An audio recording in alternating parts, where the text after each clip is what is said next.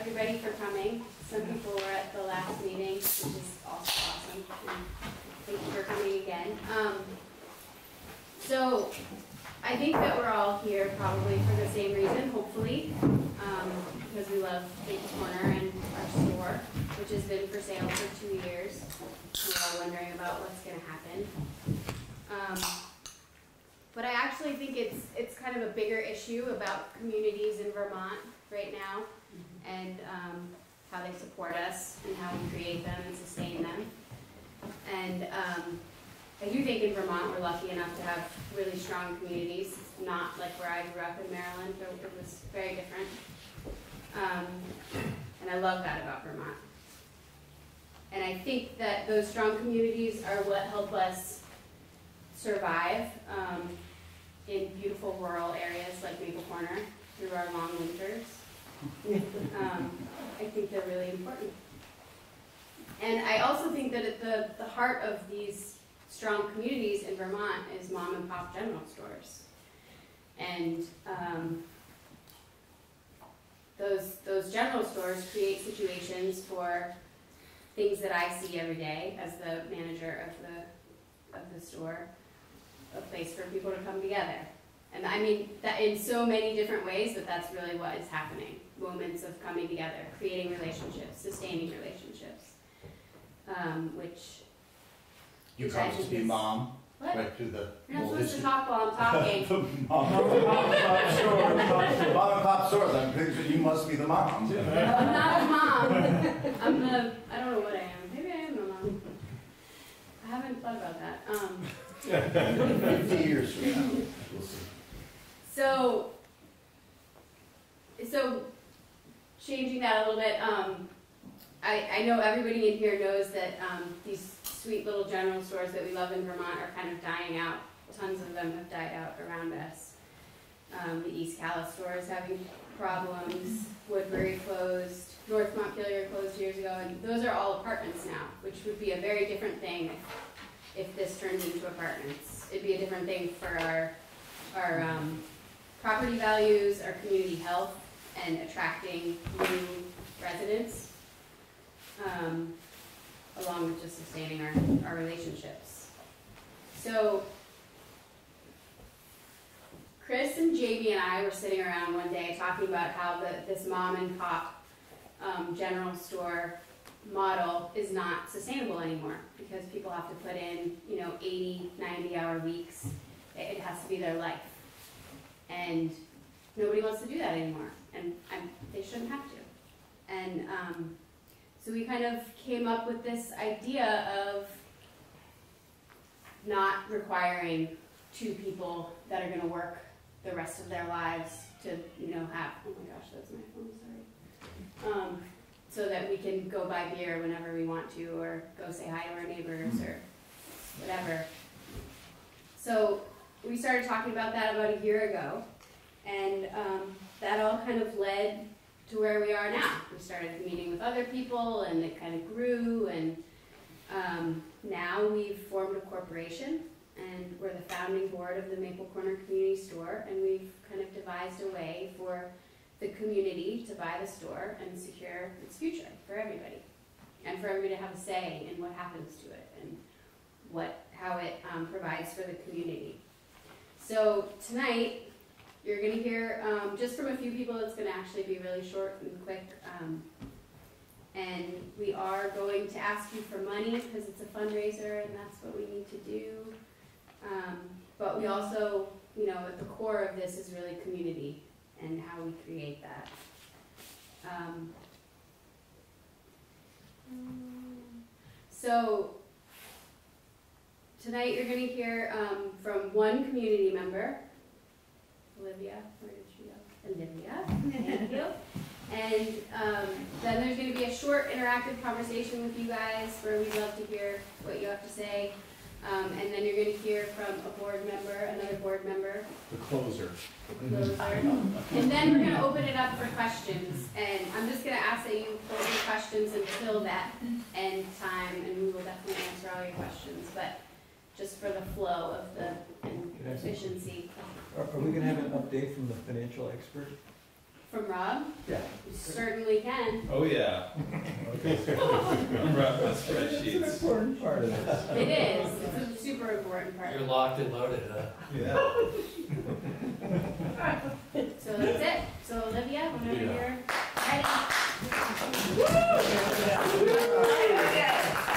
Somehow I've become the official old timer. I don't know, a whole lot of people died.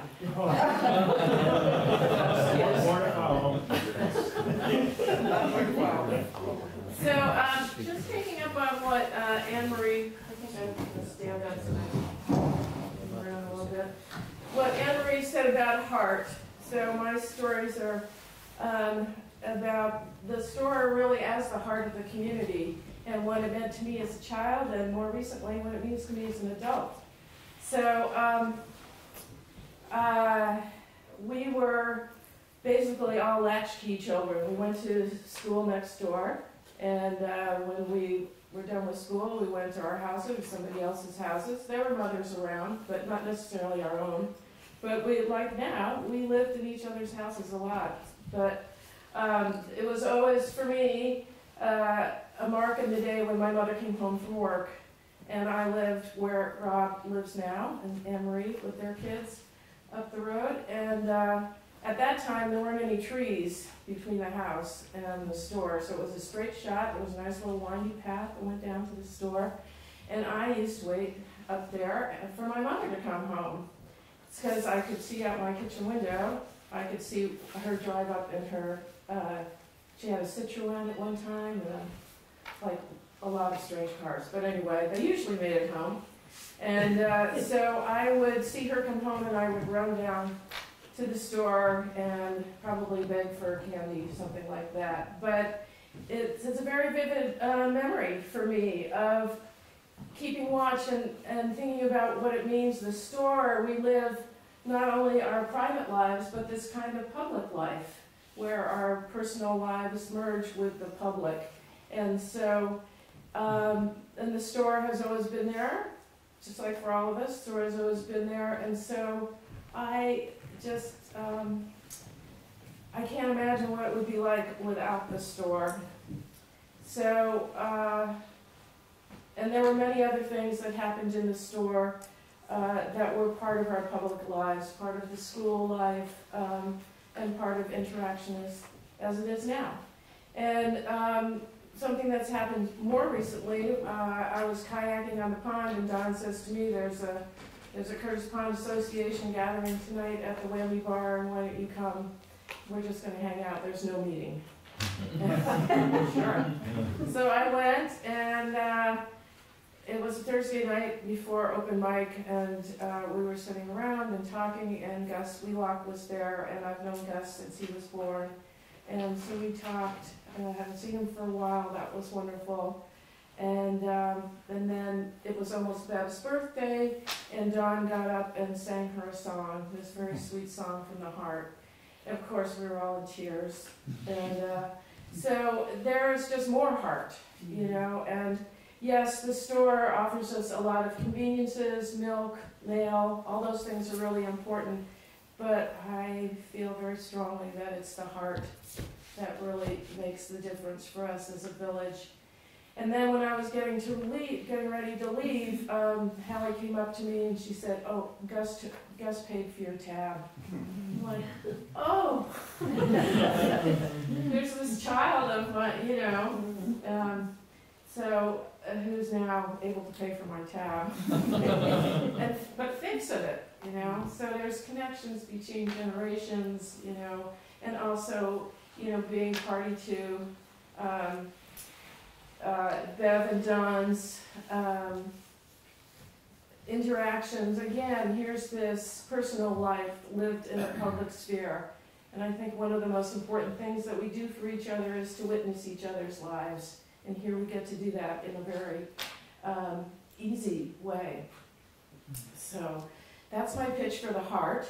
My pitch for the money is I figured out how many days I've been alive. And um, which is, by the way, twenty-five thousand four hundred and eighty-one, give or take a year. And I am in an enviable, enviable position in terms of money in that, um, a number of people, Meg included, just gave me a, a year and a half ago, a bunch of money for my land so that they can build their houses over there. So I have a bit of a windfall, and I believe in tithing to the community that has given me so much, and so I'm anteing up twenty thousand dollars. And, uh, so that comes to about seventy-eight cents a day. Which is really a bargain.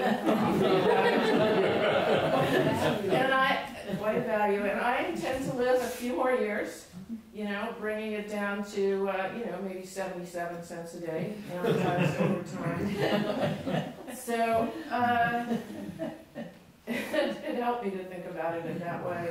But, and why am I doing that now? Of course, uh, you know, I'm in retirement, I can use that money for other things, but to me, uh, it's not Maple Corner without the store.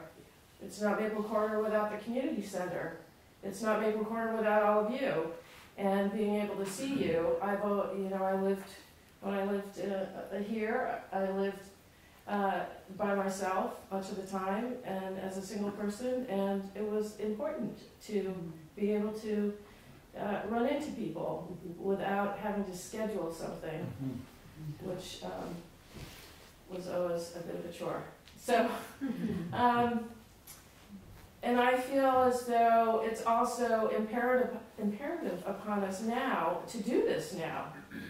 If, um, if we can't do this now, if we can't buy the store and make it a community store, then uh, it may become apartments the way the Woodbury store did, or, um, you know, maybe Artie and Nancy struggle along for a while and then something else happens. But, uh, in terms of the, um, the value of the building, it's always going to escalate. So I think one of the important things about buying it now ourselves is to put a cap on what the building costs. Because, you know, the next people are not necessarily, even if they want to run a store, um, they're not necessarily gonna be able to buy it, and if they buy it with a bank loan, the way Artie and Nancy did, that, you know, puts an extra burden, and I think the smart thing that the board is doing is to buy it outright and to start a business without debt. That's incredibly important. So, um, as I say, I'm, I'm lucky to have this money now to be able to invest in the community. And I really think of it as an investment in the community. Yes, it's in the store, in this business, but it's also in the future of the community. And so I encourage all of us to dig deep in this moment because it may not come again.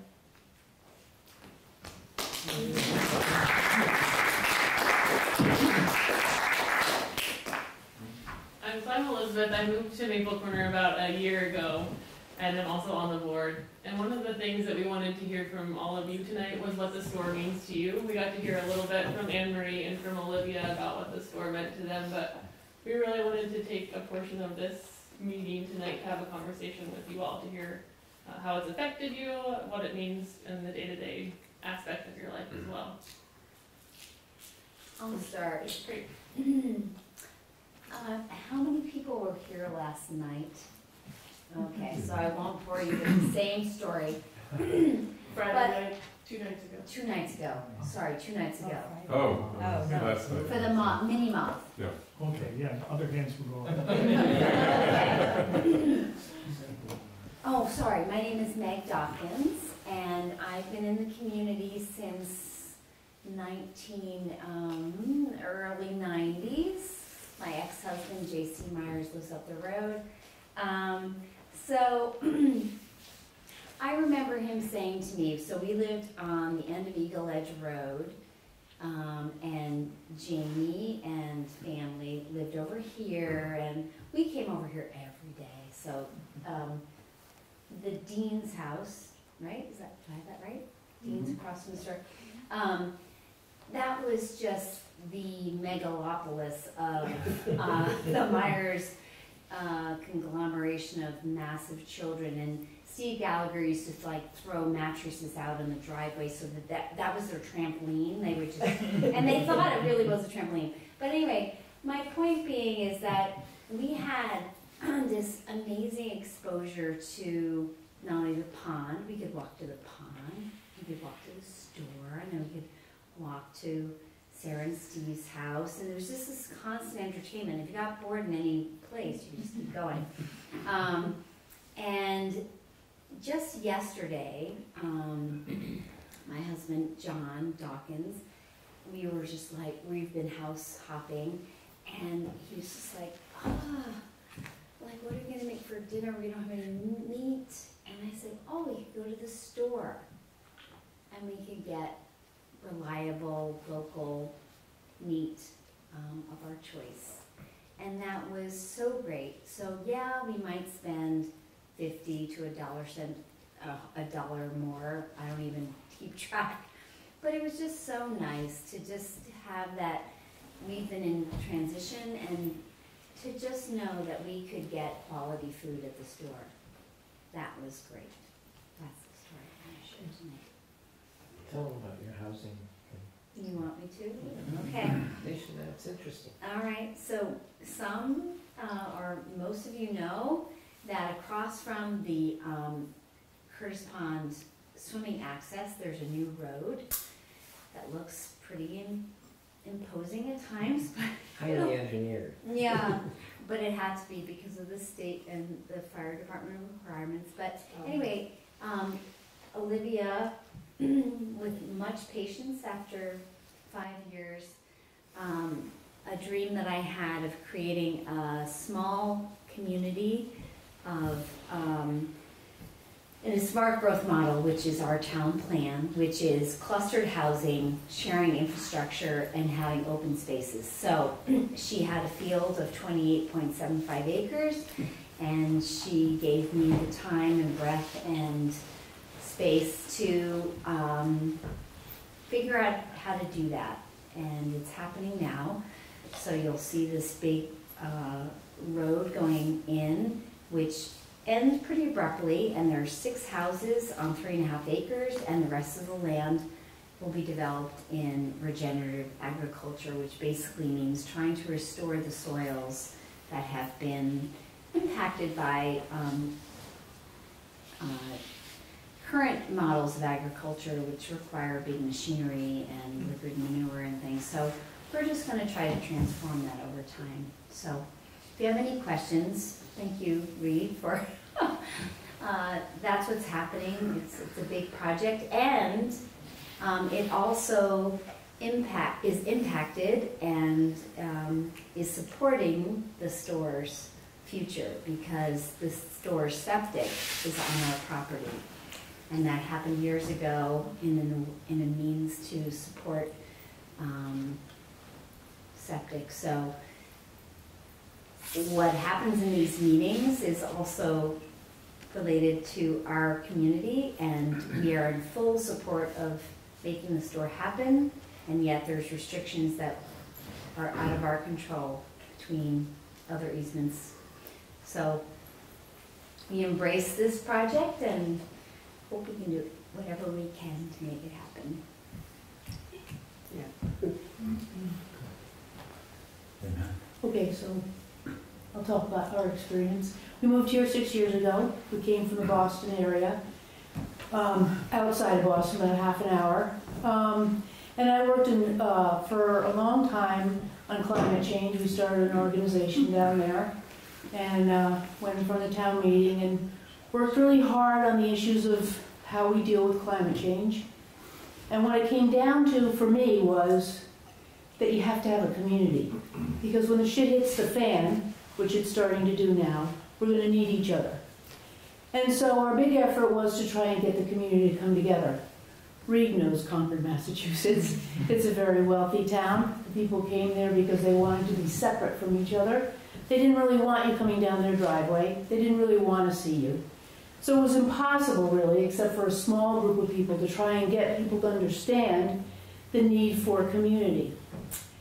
So decided to get the hell out of there We told Bob we're moving up to Vermont. I don't know what we're gonna do, but we're gonna find some place to go. And, um, so we came up here for two months. We rented a house in Templeton in January and February, and then we were gonna go to a couple other towns that we were interested in, in, well, we knew what we were up against, right? So if we didn't like it in the middle of winter, It was a cold one too, and it was a cold one. two thousand thirteen. And uh, at the end of it, I said, we decided that, you know, well, we could see, this seems like we met some nice people, it could be possible. We've been going into Montpelier and Plainfield, and I started working at the Clay Studio over in Middlesex, and so we looked at, we, I, there was a realtor, her name was uh, mentioned a couple times, and so I called her up and said, show us a couple places and you get to know us, and then maybe, you know, if we decide to move here, you'll have a sense of who we are and can tell us what, you know, is available. And so she showed us two houses. One was in a snowstorm. The first, it was the first day was in a snowstorm. Mm-hmm. Anyway, we're up on Robinson Hill Road, and we drove up there, and we absolutely fell in love with the house. We had no idea about Maple Corner. Hmm. We had no idea about the store, the whammy bar, the blue barn. The realtor said to us, "Oh, you'll love those people. They're really great. You'll fit right in." so foolishly, we, th- you know, in a way, thinking back, it seems foolish. We just took what we had, everything we had, and dumped it in this house, and there we were. And if the center of town had been Montpelier, we would not have been anywhere near as connected. When we realized about this store, and we walked in that door, and after the third time we walked in there, people knew our names. We felt like we were part of this community. This whole community has embraced us in a way that I never expected and was exactly what I was looking for to fight climate, to help me fight climate change or deal with climate change. Now, it's a kind of a weird thing to tie it in with, but I think it's a really important thing we have to understand is we're gonna need each other, and if we don't know each other, and if we don't run into each other daily, and get to know the kids and the grandparents and all of that, we're gonna be at a real disadvantage. So, you just might wanna think about that, hedge your bets.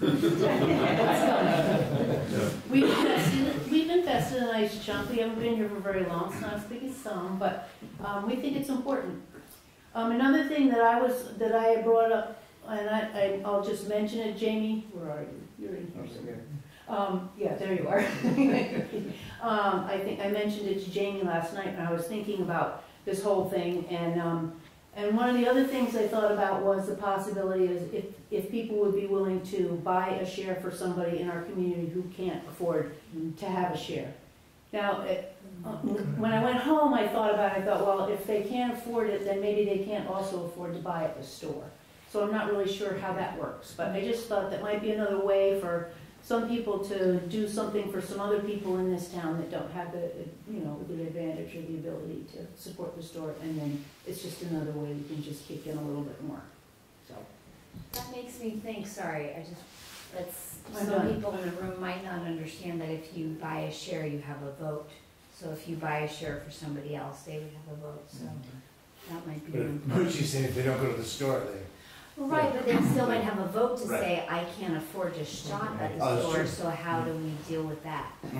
Well, they might just get their beer there or some, one little. I think we all shop at the store sometimes.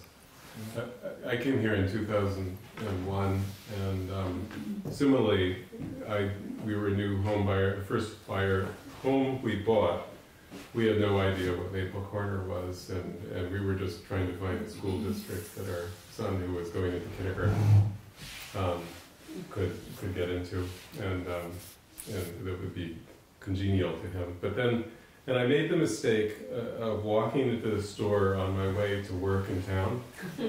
And I was in a hurry. I had a meeting. And, um, and I wasn't out of there for 15 minutes because people were, you know, I was just trying to check my mail and people would not let me out of conversation. and, I, and I did that several times, made the mistake several times and was late to work each time. And, and then I finally realized if I don't have at least 10 minutes, I should not be going into the store. You know? And, um, and so I quickly realized that it was this community place, and, and it was a place where my son, getting off from the school bus, you know, at, at five below zero, could could wait. And and um, you know, I remember explaining to someone who said, you know, do you take credit here? And at the time, they didn't take credit cards, and I said this is where there's real credit. You know, it's it's um, you know where you don't need a credit card. It's just your name, and Yeah. and, uh, and so. Um, about a year later, I was elected to on the board of the Maple Corner Community Center. I was sort of drafted. I didn't realize I was going to be elected, and and then after I was elected, I was told that I was going to that I had been elected to be vice president. and I came and what I came in with is is I came in on I said my platform is this that this community needs a tavern. And um, so, so my platform is to convert Maple Corner Community Center into a tavern, you know. And I, I, I meant it sort of as a joke, and people were appalled, of course. But I, I really feel like, you know, it, like what happened before the Whammy Bar, there was there was a place called Com- Camp Comfort, which is where the swimming area is now. And Camp Comfort actually operated as a tavern all through the Prohibition.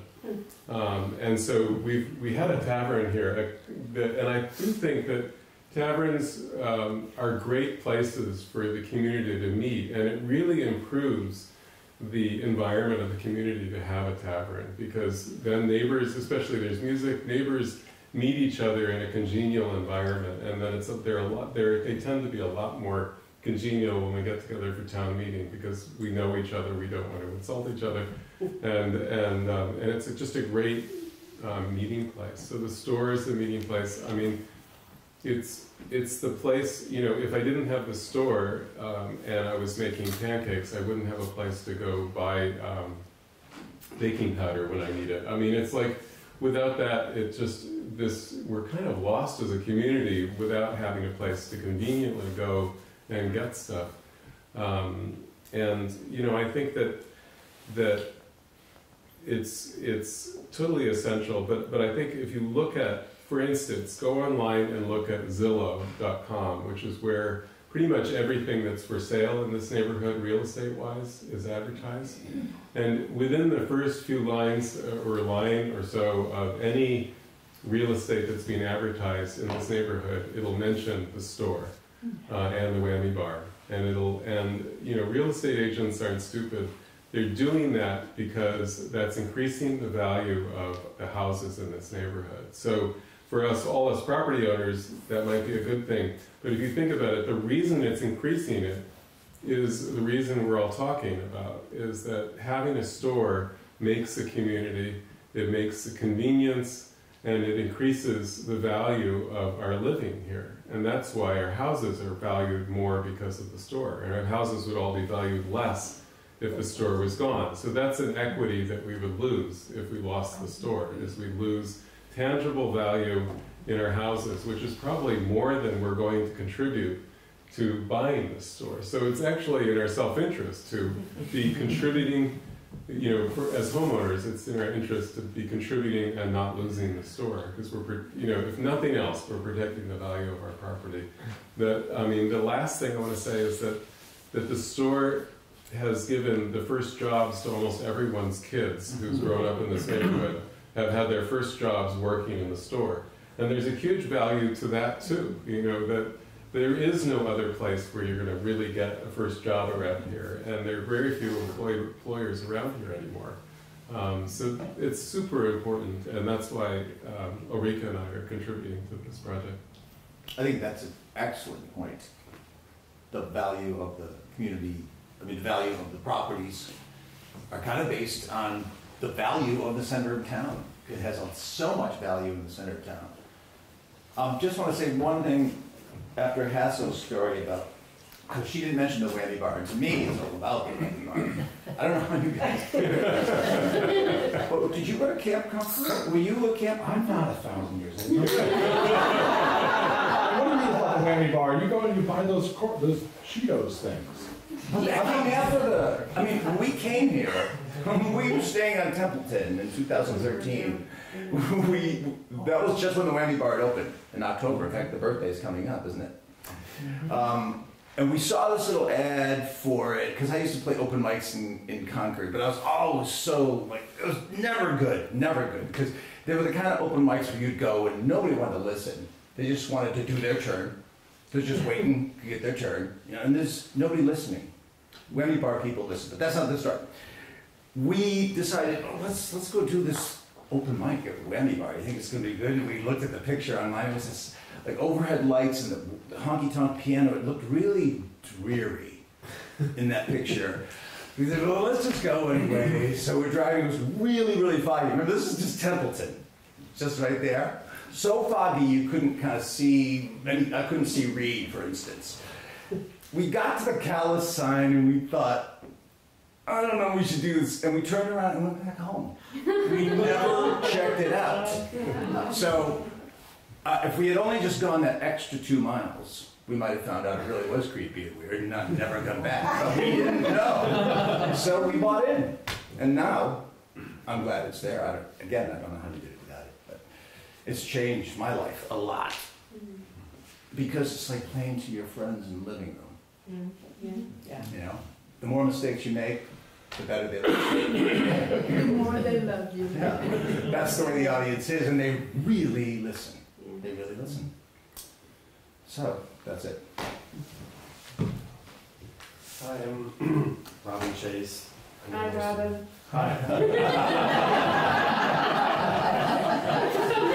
Yeah, I'll stop being so formal. Uh, let's see, I I moved here in 1980, and I've had the great privilege to steward the piece of land I'm on at the top of the hill since I was in my mid-twenties. And I, I was remarking at a party um, the other night that I've only lived on one property in Vermont, and I still live there. And I think it has a lot to do with this community. And in the early 80s, my first marriage ended, and I got to know Olivia better. And she called me into being the first Calais Right occasional up player. Right up there, there he is on Oh, that. black and I was sort of new to town, so I got to play the out-of-town shyster. white. The spectator. Aaron Slick.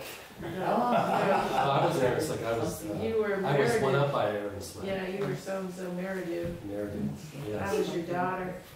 But anyway, that was uh, yes. And my daughter. um, Howie Kay owned the store, I think, at that point, and it was still gas, and you go in there, and it was, I mean, it, it was lovely, and there would be like a quarter inch of dust on all the cans. and Stuff hadn't moved very much, but it was still a lovely place to be. And my two boys would come down and, you know, torture Howie K over making deals in penny candy and stuff. And kind of reminded me of you talking about getting candy, and my kids Mhm. did that too. And um, and it's grown along. The community supported me to have a business here and raise my kids here. And people who work at my shop come down to the store every day to get lunch and snacks or beer on the way home. And and now go to the Whammy Bar, come back into town from other places. And many have lived here in the community and have been amazing workers with Paige. me. Paige, Brian, Yeah. uh, Matthew used to live here, lives in East Calais now, um, and others. And so it's been, you know, just incredible kind of warm blanket community that um, is now, at a- you know, not at a crossroads. It's healthy. It just needs support to this amazing community piece. So um, I haven't officially signed in, but I am signing in for a couple of shares. So and I encourage everybody else to. Thanks for sharing all the experiences that you had at the store. And that's a perfect transition. Chris will share a little bit more about what the model is and a bit more about the logistics, and then we'd love to get some questions that you all have about how this might work.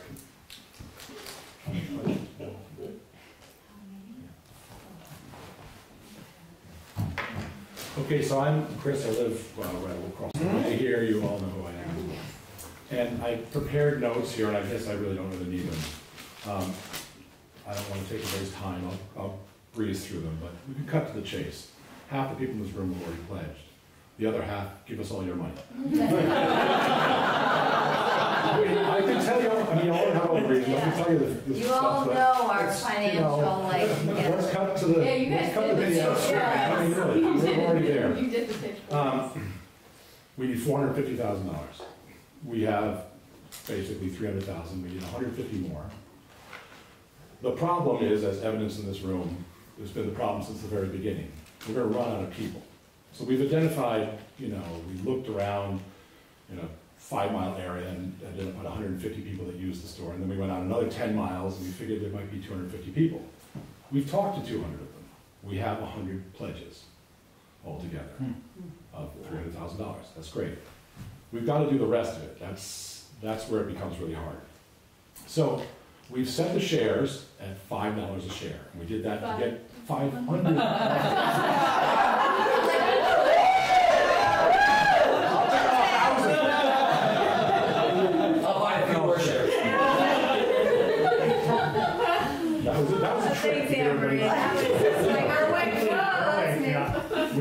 shares as low as we could possibly work it out.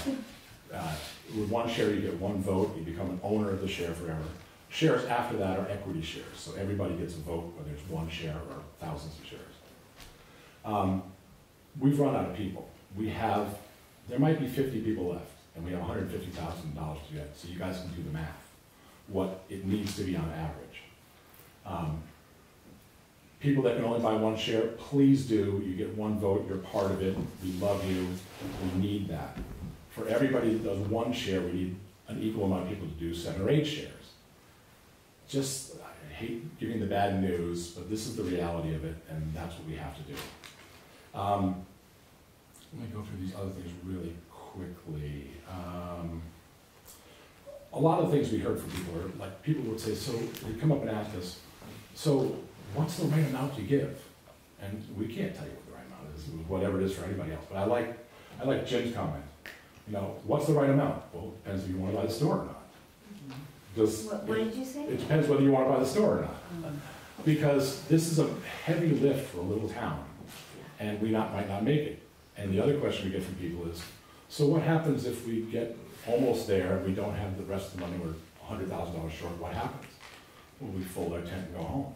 There's no angels that are gonna come down and take care of it for us, we can't borrow money, because of the way we set it up. So either we're gonna make it or we're not, and it's gonna depend on finding enough people and digging deep enough to do that. Um, Um, maybe I should look at what the rest of is saying. I. Um, I, I, I just want people to think of this, um, maybe, uh, I'll relate the way I started thinking about it. I, at the beginning, I'm thinking, well, I'm gonna buy a share for me and for both of my adult children. And if I plan my summer out right, I'll have fifteen hundred dollars in my checkbook in the fall, and I'll be able to do that, and it won't be easy, but I'll do it. And then I got to the point where I'm like, no, we're in trouble here, we need to raise a lot of money, and, and I'm struggling with how do I do more? And then we're hearing from people who are saying, well, we, we wanna do this, but we just pay our taxes this year, or this time of year, and, and so did I. And it just occurred to me that if this becomes a measure of how much money people have on hand in their checkbook this month, we're dead in the water, this is not gonna happen. So I'm just encouraging people to think of it really long-term, like Olivia, seventy cents a day, or whatever it ends up being. Seventy-eight. Seventy-eight, so you're gonna live for a long time. So I started thinking like, okay, I might crawl around on this earth for 20, 30 more years, who knows? And what if I did a couple hundred dollars a year? And, and then I'm talking to people and they're saying, well, we can't do this, but, you know, we have home equity, we could borrow some and, and plan it out over a longer period of time, and people have savings, whatever that means. Um, and I thought, you know, I, I, I've gotta just figure a way out here. So I took a deep breath, dipped into my home equity, and I bought ten shares. And I, I can't tell anybody what else to do. I mean, everybody's gotta do what they can do and what's right for them. If one share is right, that's right. But I just encourage people to think of this in as long a term as possible. If you can find a way to stretch it out over a long term, you know, a few hundred dollars a year for the rest of my life. I plan to use the store for the rest of my life. So my thinking came around from what's the most I can do, the minimum I can do, to I, I gotta do this. So don't follow me, but do more than that, please. Thank you. I had more stuff, but uh, you got- you all the reasons in the world why this has to happen. And there- there's a good chance we're not gonna be able to make it. So I guess the one other thing I wanna say, okay, first thing you have to do is, and I hate when people tell you what you have to do, but this is what you have to do. First thing you have to do is think what you can do yourself.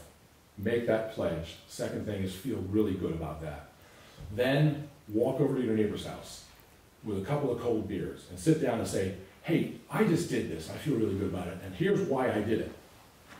And invite them to come along. Then call your siblings, call your rich uncle, call your mother and your kids and everybody, and have them join in too. And then walk around the street with a cardboard sign saying, we'll work for store, or whatever, do whatever. Be an evangelist, uh, go out and talk to all your neighbors and, and, and we gotta dig people out of, the we've been looking under rocks, trying to find more people, and it's always been the problem, we're gonna run out of people in the end. We're near the end, we're running out of people. Please help us find that. And what is the end date? November first is our goal. If we have to go past that, it's, uh, we may or may not be able to, but that's what we've worked out with our and Nancy. And we've been at this for a year and a half. And the reason we haven't been able to talk to people earlier is because we are selling actual shares and registered with the Securities and Exchange Commission. And if we talked about it before the first of August it was, we would be like insider trading, and we would have gotten a lot of trouble. So we've had to kind of keep, we weren't allowed to talk to people about shares until just this summer. You haven't mentioned the uh, community center tax exempt donations. Well, we're gonna, I'm gonna leave all that for the question and answer. Okay. The specifics of how that works, we'll open up for questions, and then Rob's better at that, so I'll leave it for him. That's really good. What good. about So that, maybe you can tell us that first. Well, there's, there's multiple ways to give, and um, the way this is set up is under a certain rule with the state of Vermont, which it, this is a, uh, really a community-based corporation. Um, And corporations have all kinds of rules that are federally regulated. Um, And, but this is, you know, under the state of Vermont, community-based corporation such that you have to be a Vermont resident to invest in it. If you're an out-of-state person, and- and I encourage everybody to think of others, and, um, and I know of some that I'm gonna ask, um, for money that live out of state. Um, they, they can donate, uh, they can get a tax deductible donation through the community center. So the community center has agreed to take on donations. And uh, in doing so, they then become an investor and an owner of the store, which just further ingrains the community aspect of the store. Um, so, so you can either donate and have a tax deductible donation to the community center, or you can be an owner and have equity in the store and, and a vote in um, how it's operated and who's who's operating it. So um, that's the there's all kinds of things to dive into in regards to the structure, but but that's one of the, the aspects of it. Um, and in terms of, of fundraising, just to, to jump on what Chris was saying, I, I think we're we're getting towards the end. Um, this is you know a relatively small group compared to what we had last time, and um, I think as we approach the end of October, we're going to be contacting the hundred people that we've talked to so far and asking um, all of you and all of them, you know, what else can we do? Um, who else can we talk to? Um, and so that's part of our job as a board is to kind of formulate the game plan to get us to the finish line, and, and we'll be engaging you in that pretty soon here. Do we just write a check out? How do we do it? How do we If you'd do like it? Well, we have uh, uh, binders in the back. Mhm. Every investor gets a, a binder that with a business plan in it, and um, Looks uh, like this. yeah, that right there, and and uh, essentially make sure you look it over and know what you're getting into, and and then sign on to buy some shares. But I think the key thing that I understand is that if you invest and it doesn't, whatever, if you don't reach your goal, It's an escrow, yeah. So every check we get goes into an escrow account, and it sits there and just waits around until we close. Um, and by law, based on what we put into that binder, we cannot close on the store until we've at least raised three hundred and seventy-five thousand dollars, which was the purchase price we agreed upon. We're trying to raise four hundred and fifty, so that we can deal with the septic, so we can buy inventory, so we can have uh, a little bit of uh, operating funds Going um, into- going into the slow months in the winter. Um, so, um, but we, if we do not get at least to three seventy-five, we have to either give you your money back or come up with some kind of plan B in which you might agree to let us keep it, and we would, it would, we'd have to renegotiate a whole new thing. Uh, we're hoping that doesn't have to happen. Does, uh, I'm Rod Buck, and I'm a financial investment guy, and uh, we've lived here, Sandy and I, since seventy-six, and I think we're on the Olivia plan for contributions, and um, uh, I'm wondering, you know, Chris was saying if we don't get to the four fifty, you know, that's it, can't do it. Are there other alternatives that you board members are thinking? I mean, very few deals are done for pure equity these days. Are there ways that we could do, I mean, we should get as much equity as we can, without doubt, that makes all kinds of sense. But you might be able to do a bridge loan that would allow you to get the other seventy-five thousand, whatever you're lacking, and then you could work on paying that off over, over time with grants, other kinds of fundraising. It would give you more time. It would allow you to execute the transaction and get, you know, eighty-five percent of what you want instead of saying, oh, we can't do it, you're dead.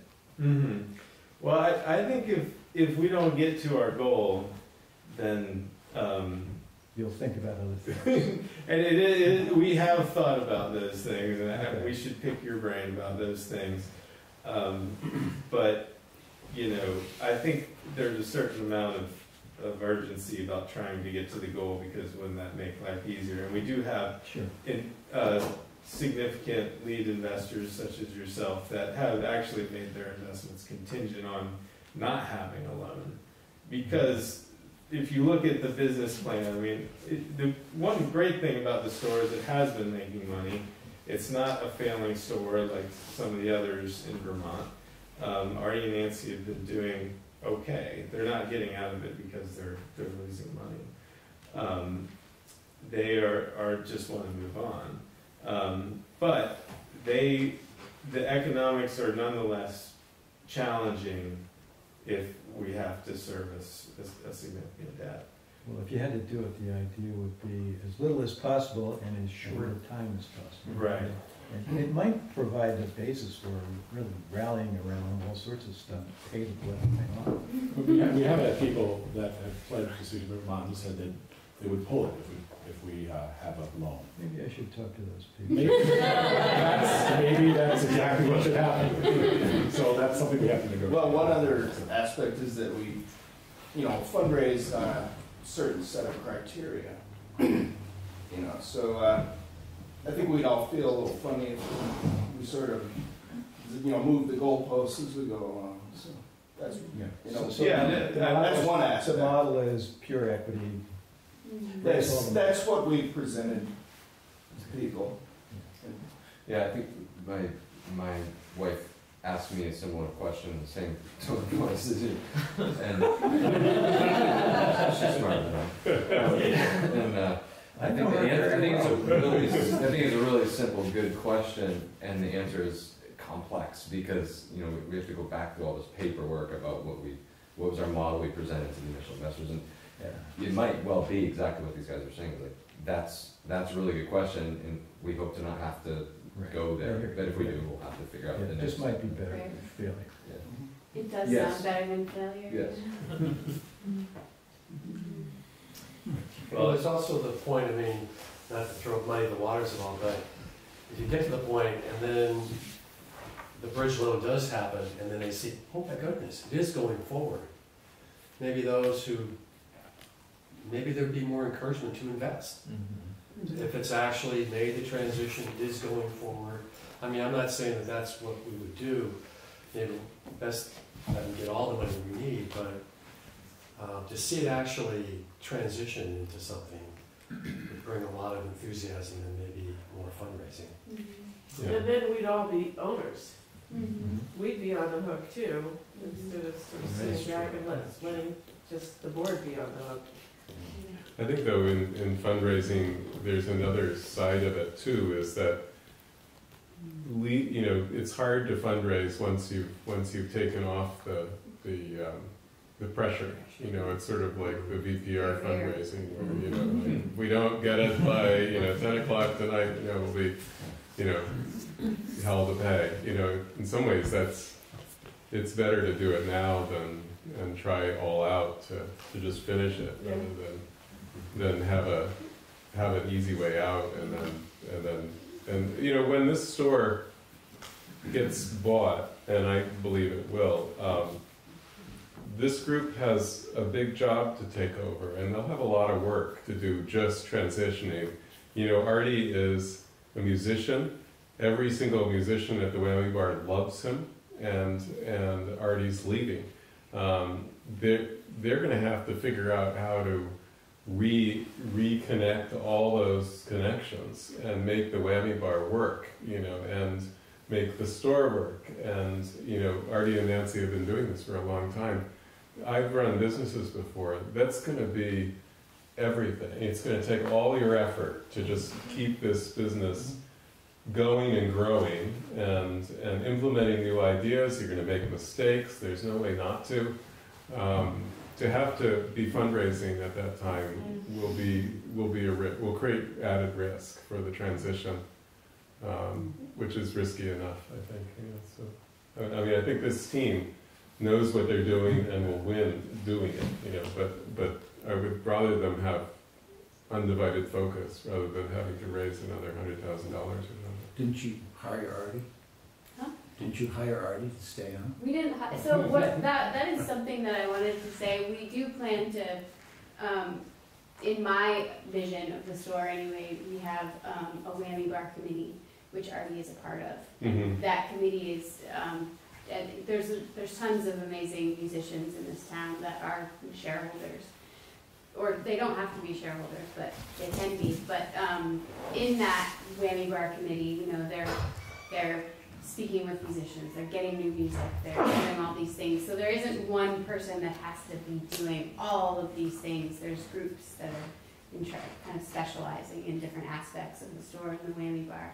And that way we kind of draw on the resources of the whole community. So, I do, I mean, the transition of even creating that is gonna be a lot. It's going to be a lot of work. It's gonna be a lot. No, I believe you can do it. it, I'm not worried about that. it, But I, but I would rather not have, yeah. you know, fundraising. I- It'd be great if we could just make a clean transition and allow this team to focus on, on creating, you know, a successful store. Um, I rather think than, everyone would, you know- would agree with that, Yeah, yeah. if you can do it. Yeah. I think we can. I really do. I mean, I think there's been times that I didn't think we could do it, but, you know, hundred and fifty thousand left. Um, we do still have plans of, you know, once we've kind of tapped out the ability for people to buy shares, we're, we're gonna do fundraising projects where it's, you know, twenty bucks to get in and all that money just goes towards our, our, um, endeavor, but, and you, you know, we're not gonna raise a hundred thousand dollars that way, but You could We'll save raise this stuff for a something. bake sale. we can make sales. Have you thought about a calendar? I was just gonna say, before everybody starts, that's that's not happening. Speak for everybody, it will not. We can get Mr. February back. February? Mr. February.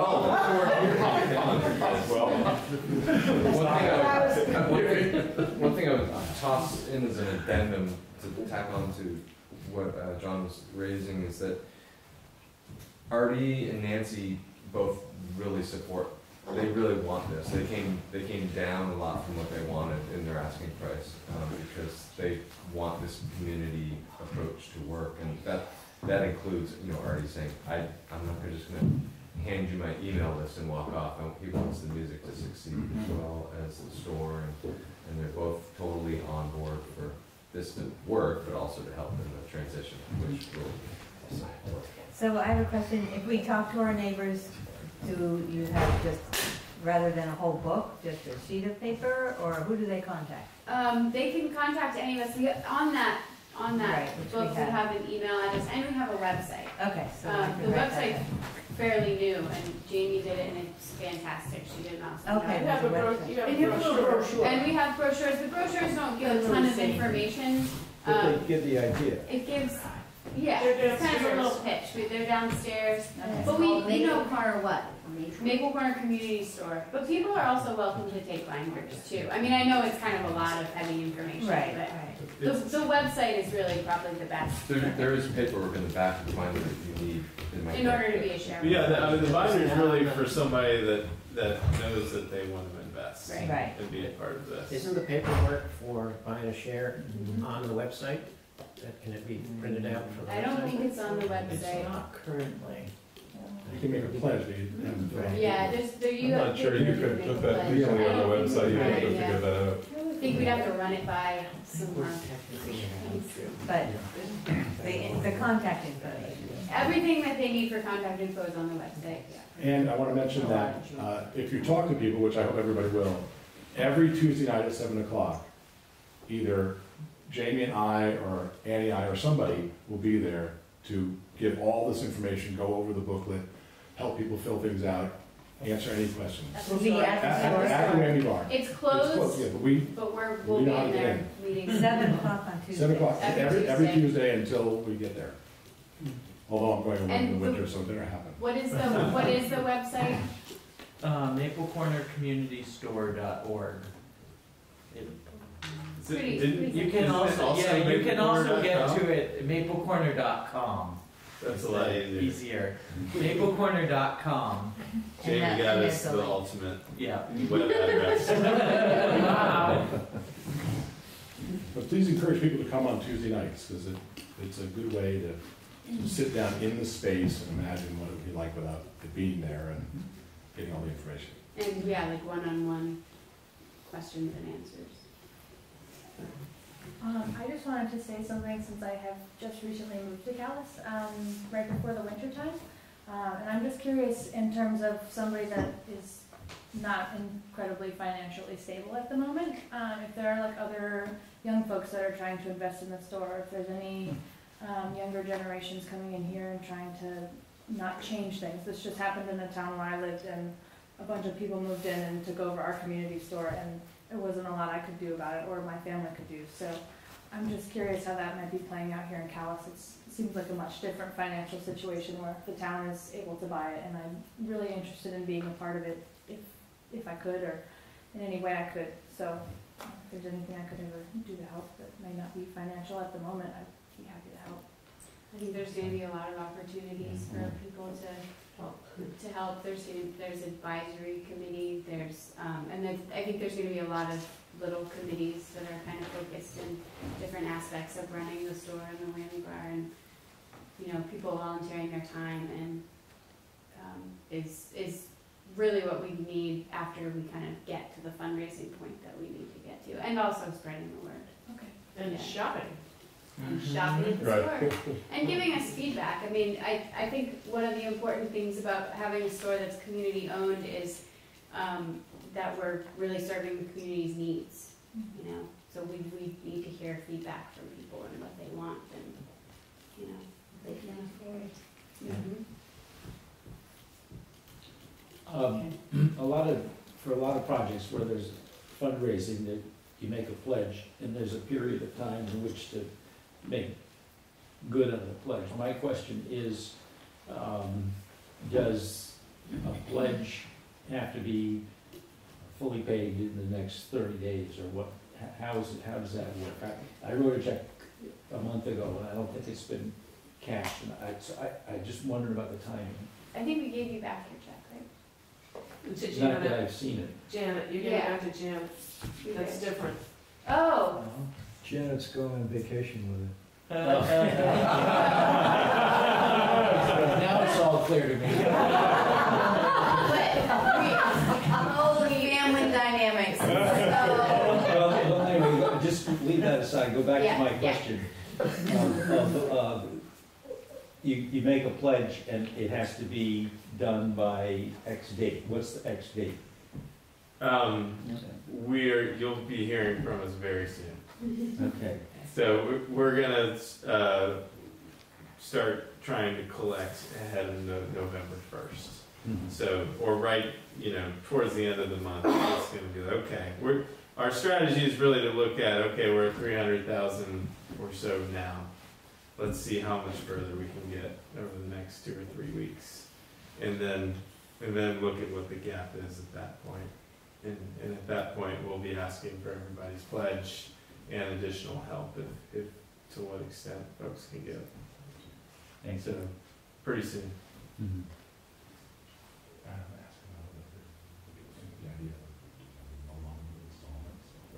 I, it's worth mentioning, I, I think, Yeah, One of the things we thought about, that a- way we could borrow money without it being a, a real mortgage, and we don't know how this would work, but if, if we said to people, okay, you bought a thousand dollars worth of shares, if you could pledge a total of five thousand dollars, and then over the next four years, every six months is a five hundred dollar pledge. And, and then we could borrow against that with a contract with people. So, I mean, because a lot of people say, well, I can only do this now. But a lot of people would think I could do this for the next five years. Hmm. And then if we could find ten or twelve people to do that and borrow fifty thousand dollars, it it wouldn't, I don't think it would set off the, the people who said they'd withdraw their money if we got a loan, because it would be a kind of a guaranteed loan. Well, it depends on people following through on it and everything, but I think that there's a possibility that might work, and I was curious what you would think of that idea. I think that might be a pretty good idea, and it might be something we could do when we go back to people and try Right. to ask people That's what we're thinking, yeah. if they could do more, and, yeah, that might, that's another one of those sort of uh, green light ideas that, you know, at some point you need to think about. Right, definitely. Well, we, we have that in our back pocket if, you know, once we get to the, see where we are in a month. yeah, I think in a month, if we're not there, we're not gonna throw in a towel. It's, this is looking at other means and ways to get there, and, and, um, you know, I, I think we're pretty committed, Artie and Nancy are pretty committed. Um, but, that said, things are gonna get more complicated, and if we don't do it by the end of the year. Our, our commitment in the binder and to Artie and Nancy is to do this before the end of the year. Um, so if we don't do that, then all you can have your money back if you want it back. I want to just mention that, uh, just to give an idea, we've been working on this for a year and a half. And um, just, you know, we sort of put our money where our mouth is. Um, The board of directors has put up ten or fifteen thousand dollars for lawyers and appraisals and all that kind of stuff, just out of pocket. And we put in thousands of hours of work, and I think just collectively with just our board and fundraising team, we've all committed to over fifty thousand dollars. So we're in this, just so everybody sort of knows, that we're not just asking for people to think for a bunch of money that we're not also doing. Have you guys looked at grants? Is it, is, are there any community-oriented grants that see the value in having a store, or is there just nothing? We The- haven't found any. Well, the, uh, the Vermont Community Fund or Foundation. Foundation, um, or the corporate model that we went with, um, because it was a for-profit model, was not compatible with, with the, the funds that they had to offer. That, um, and the model that they suggested for various reasons, we didn't think was, was the right fit. Or early on in this whole um, project, you know, we've been talking for over a year. That was a lot about what this was about. Was how do we? What's the best way to do this? Um, and and we found this this way to do it really was the best fit for our community. We studied a lot of different other stores and and successful ones and and ones that are still on the edge and how they went about trying to survive. Um, and everybody kind of did it their own way to a certain extent. And, and we've done it our own way and, and in a way that seems to really make sense for us. Works with this relationship we have with the community center um, and, and the community here. if the store building was an historic building, I think Yeah. uh, Preservation Trust of Vermont, for example, could be involved, and I think they are involved in the East Calais store. Um, but- We did go to them, I believe. Yeah, it was Yes. because we're not historic, it's Yeah. not a historic building, it, it cut a lot, a lot of the possibility of grants out. Yeah. Church went through it too. Yeah, I, there may be some out there still. I mean, I, we, we've had some folks looking into it, hasn't been me. So far, Does the Vermont Country Store have a foundation? Have you talked to them? They do, that's a pretty good idea. I think they're. Because, uh, uh, the Ortons own the store in North Calais, so, which, the, that's the family that started the Vermont Country Store. And, um, so, I mean, they're not terribly involved, obviously, right now, but it might be, I think they're involved with the uh, Memorial Hall uh-huh. project.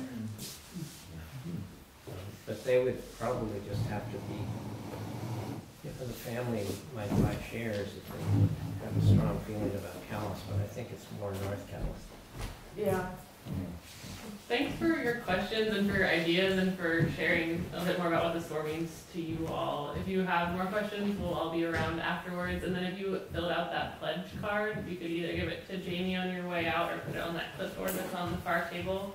That would be wonderful. Thanks again for being here tonight. thank you. Thank